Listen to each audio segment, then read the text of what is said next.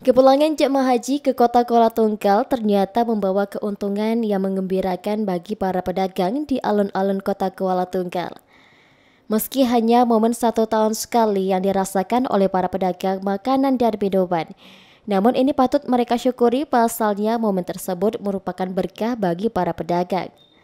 Hal ini seperti diungkapkan oleh Samsudin sejak pagi hari ia sangat merasakan imbas dari kepulangan jamaah haji karena dagangan makanan ramai pembeli dari hari biasanya. Samsudin menambahkan sejak Sabtu lalu ia telah berjualan di laman alun-alun kota Kuala Tunggal. Sabtu merupakan kloter pertama jamaah haji tiba di kota Kuala Tunggal. Yang kayak gini alhamdulillah inilah namanya uh, rezeki musiman namanya. Iya iya.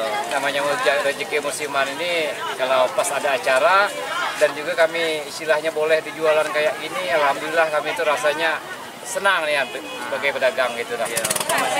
Semoga jauhan acara, semoga perjalanan hajinya dalam perjalanan lancar, berkah, Sementara Koordinator Pedagang di alun-alun Kota Kuala Tunggal, Rafli mengatakan imbas dari kepulangan jamaah haji sangat dirasakan oleh para pedagang. Ia berharap kepada pemerintah ke depan untuk lebih memperhatikan pedagang UMKM atau pedagang kecil makanan dan minuman dan bersinergi bersama pemerintah.